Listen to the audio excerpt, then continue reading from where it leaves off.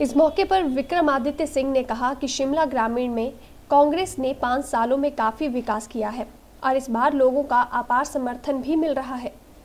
कांग्रेस इस बार फिर शिमला ग्रामीण सीट पर अपनी जीत दर्ज करवाएगी। वहीं सीएम वीरभद्र सिंह ने कहा कि शिमला ग्रामीण सीट उनकी सीट थी और इस बार विक्रम आदित्य सिंह के लिए ये सीट छोड़ी है। उन्होंने कहा कि कांग्रेस ने शिमला में विकास के कई कार्य किए हैं और लोगों का समर्थन कांग्रेस के साथ है। इस सीट पर इस बार विक्रम आदित्य सिंह जीत दर्ज करवाएँगे।